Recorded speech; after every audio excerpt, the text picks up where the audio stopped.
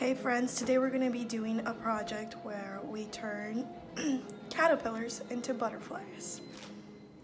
So the things that you will need are a paintbrush, scissors, cotton balls, empty toilet paper roll, colors that you want to work with, glue, and coffee filter.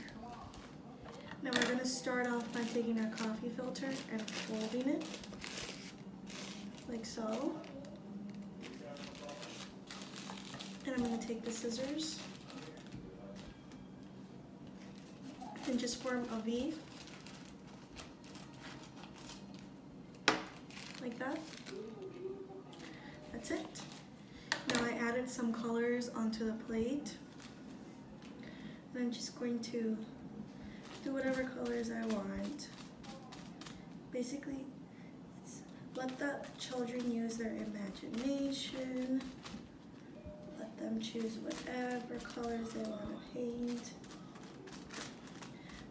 If you have an old t-shirt, let them wear an old t-shirt so they can get messy.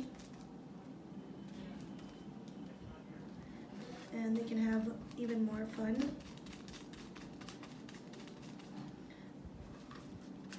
Now I'm going to take some of my cotton balls, put them on here, like so, and just start coloring them like this.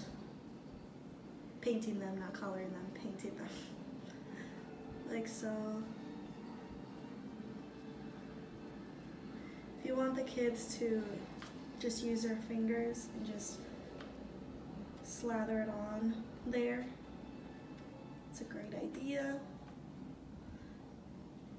So then they can just feel the paint and feel the texture of the cotton ball.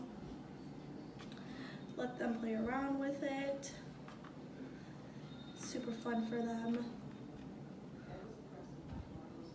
Like that. So you should let these dry for about 15 minutes or so.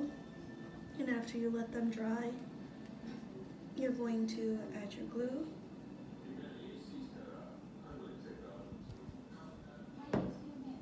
Put these on here.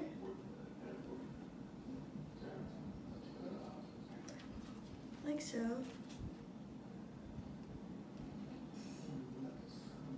You have an empty toilet paper roll. If you want the kids to paint this as well, go ahead and let them, let them decorate it all over.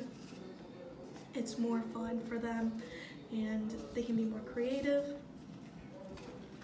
Now, this is the cool part. So you're just gonna put this in here, like so.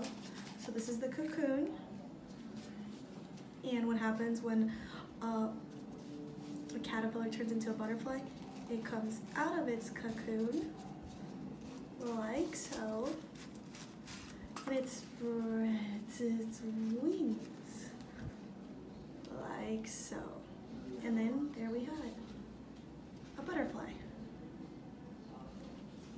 And like I said, if you just want your children to use their hands, it's awesome, it's a great thing. Just make sure you have an old t-shirt so they can have as much fun as possible. And if you want them to use a paintbrush, this is also a great exercise for them to start hold, practicing holding this. If not, let them use just their fingers.